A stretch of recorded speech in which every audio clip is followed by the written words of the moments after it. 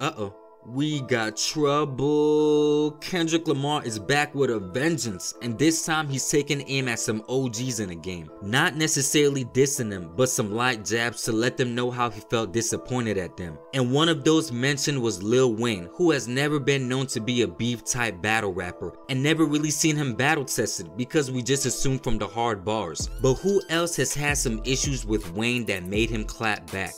Kendrick Lamar, as Kendrick just released his new project GNX, on the song Wacced Out Murals, he mentioned some of his idols like Nas and Snoop Dogg. But with Wayne, it wasn't really a diss, he was basically venting his frustration about the whole Super Bowl incident. Because remember how everyone was making it a big deal that Wayne wasn't performing at the Super Bowl, and Wayne even got on camera sounding super sad like he just came from crying and venting his mind on not performing. But in the midst of all that, people forgot to congratulate Kendrick and kept saying Wayne deserved to be performing in his hometown. Like Kendrick says, the only person to congratulate him was Nas, and obviously Kendrick felt the way. And on a song, Kendrick says, I used to bump the Carter 3, I held my rolly chain proud. Irony, I think my hard work let Lil Wayne down. Not really a diss, just a thought bar, and Wayne responded saying, Man, what the fuck I do? I just be chillin' and they still come for my head. Let's not take kindness for weakness. Let the giants sleep, I beg you all. No one really wants destruction, not even me, but I shall destroy if disturbed.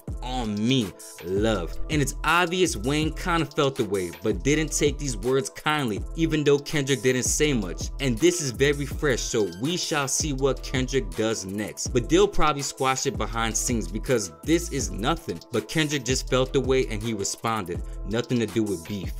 50 Cent. Shit, you already know what time 50 was back then. He was beefing with everybody and didn't give a damn. With this one, it never really was serious and more of just jabs back and forth. And I honestly think Wayne didn't want no problems with 50 back then. On an interview with Funk Flex in 2007, 50 was asked what he thinks about Wayne being featured on so many songs. Cause at this time, Wayne was scorching hot and was on every one song. 50 replied, a whore sleeps with whoever will pay them, so we gotta call him a whore. He'll just go with whoever pays him to get on their records. He makes those records good, it's just that he works with anybody. And later that year, 50 dropped the song Part-Time Lover, where he disses Wayne and Baby and says, You make me wanna kiss you like Baby kiss Wayne, and make you call me daddy like Baby do Wayne.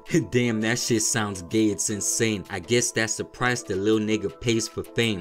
Wayne eventually heard what 50 said and responded in an interview saying, That shit's crazy, man. I ain't fucking with 50. He's too high up there. I can't deal with none of that. I respect him and took it as a compliment. I'll never go back at 50. That nigga's a trillionaire. I'm trying to get up there, homie. I'm smart, not dumb.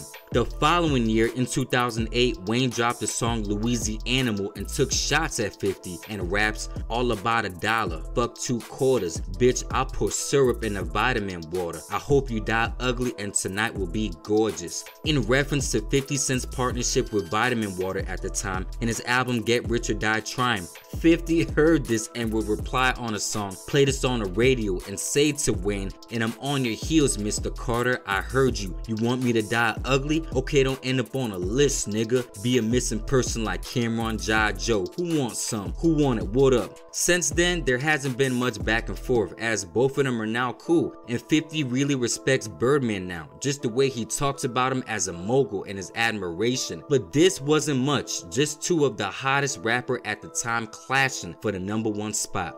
Jay-Z.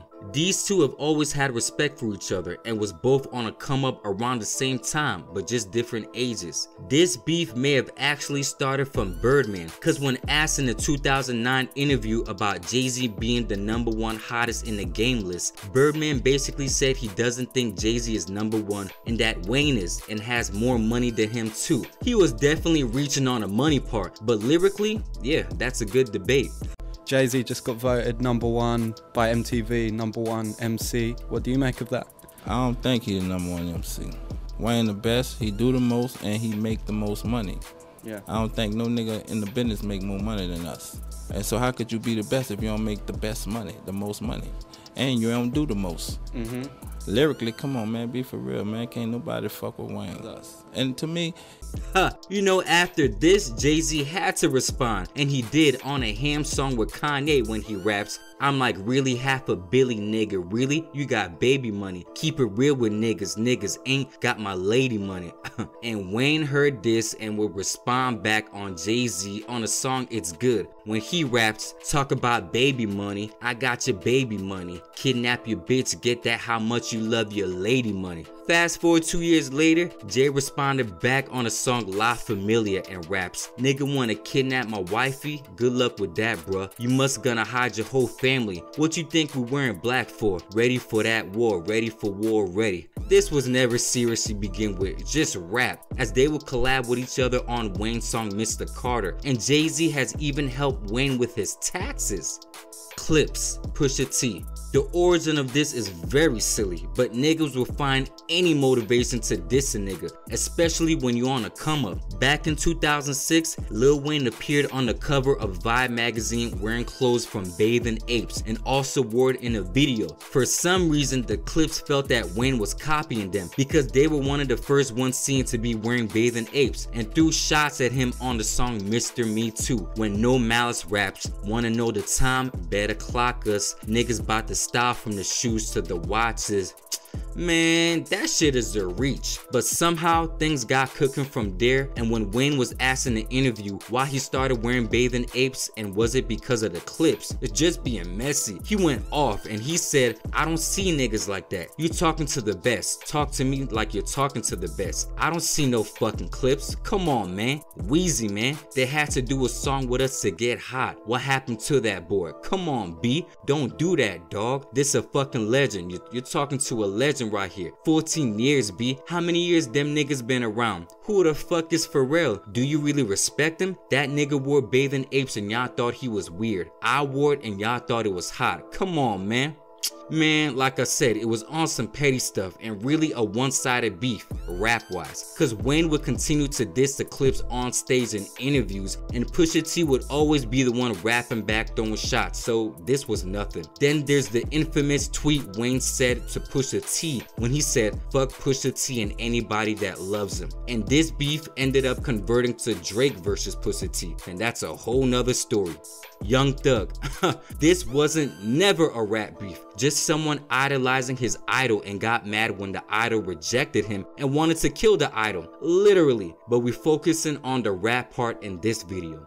Gillie the Kid.